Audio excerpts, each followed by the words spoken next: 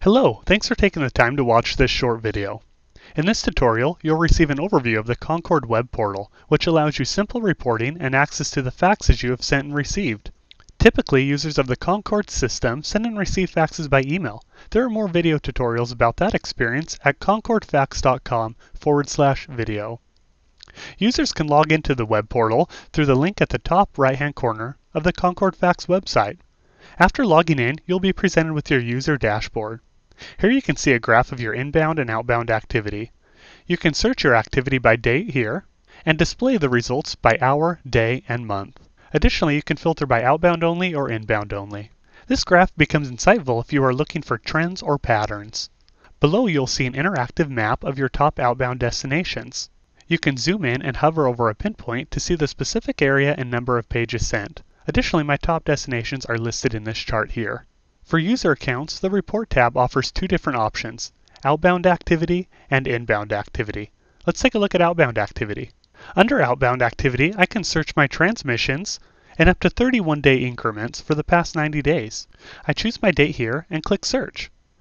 Additionally, I can refine these results by adding a subfilter to my search. I choose that here.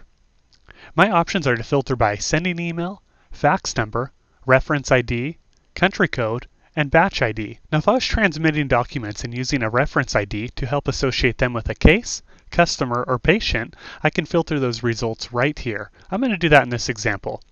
I choose reference ID and enter in the specific reference ID I want to search for in the search field. Once I have that filter entered, I hit search and I'm displayed with my refined results.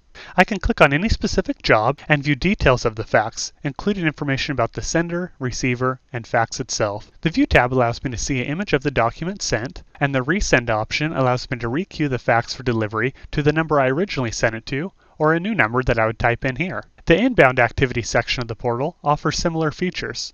I can enter in my date range here, and click Search, and additionally I could refine my results by fax number, caller, or country code of the caller ID or fax number itself. I would enter in the details of my subfilter here and refine the results by hitting search. I can click on a specific fax and see details about the transmission, and I could also requeue the document for inbound delivery. Up in the top right hand corner of the portal, you'll see a settings cog icon here. By clicking on that, I'll be taken to my user account setting page. Depending on how your company account is configured, you may be allowed to edit these settings in this area, or they may be set on mandatory default settings.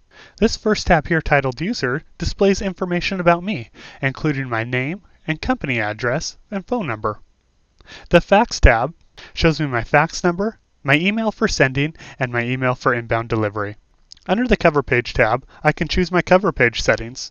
For more information about our cover page settings, check out the cover page guide or video on the Concord Fax website.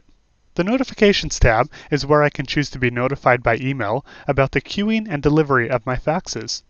And the Date tab is where I can set my time zone. And that is the web portal experience for Concord Fax user accounts. You can find more video tutorials at concordfax.com forward slash video.